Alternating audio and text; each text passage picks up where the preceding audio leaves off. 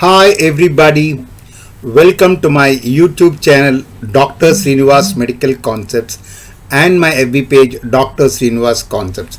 This is Dr. Sreenivas, neurologist from Rajahmundry, Andhra Pradesh, India. I'm also the medical author of the book Focused Neurology. My email is sriklpm at gmail.com.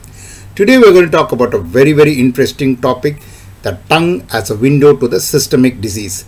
Cranial nerves part 71, hypoglossal nerve 12th nerve part 2. So tongue as a window to systemic disease. Cranial nerves part 71 and uh, hypoglossal nerve 12th nerve part 2. Tongue as a window to systemic disease. Clinical examination. Motor power can be tested by having the patient press the tip of the tongue against each cheek as the examiner tries to dislodge it with finger pressure. When unilateral weakness is present, the tongue deviates towards the weak side on protrusion because of the action of the normal genioglossus which protrudes the tongue by drawing the root forward. The tongue deviates always towards the weak side fasciculations are present in LMN lesions. Tremor will usually disappear when the tongue is lying at rest in the mouth, whereas fasciculations persist. The tongue as a window to systemic disease. What are the clinical findings and what are the associated conditions? If there is ankyloglossia, it may simulate paresis. Macroglossia, that is a large tongue, it can be seen in hypothyroidism, down syndrome, amyloidosis, neurofibromatosis, sarcoidosis, GM1 gangliosidosis, glycogen storage diseases, Duchenne's muscular dystrophy, limb girdle muscular dystrophy, some forms, polymyositis and mucopolysaccharidosis. Angioma, hematoma and lymphoma.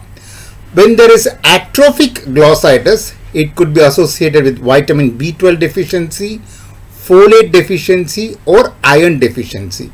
When there's a scarlet, red and, and swollen tongue, it could be because of pellagra in acute stages. When there is purplish or magenta hued tongue, we have to think of riboflavin deficiency.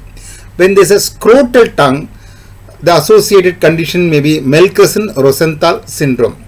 The geographic tongue is seen in conditions of benign rugosity of unknown etiology.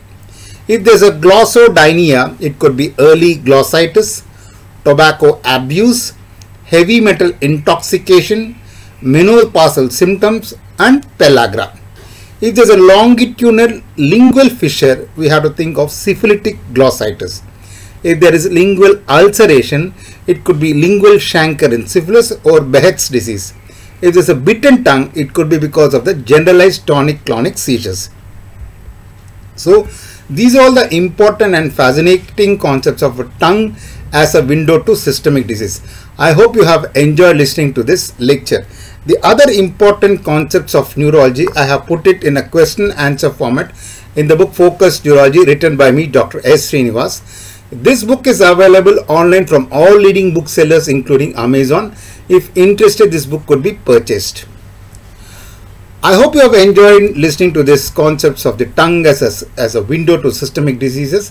If you have enjoyed it, please like it, please share it, but please subscribe to my YouTube channel, Dr. Sreenivas Medical Concepts and my web page, Dr. Sreenivas Concepts. Thank you. Bye.